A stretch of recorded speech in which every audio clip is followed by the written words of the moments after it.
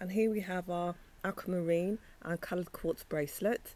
Um, it's measuring 8 centimetres. It's made up of sterling silver and um, aquamarine um, drops. Um, if you'd like to have a close up here, some of the gems. Quite pleasant, quite trendy, um, nice on any occasion and just pleasant to wear. You just have a look. There you have it. This hat looks like in sunlight if you're and about wearing it. See, bit of a dazzle. So enjoy. Please pop along to our website and have a look at some more stuff.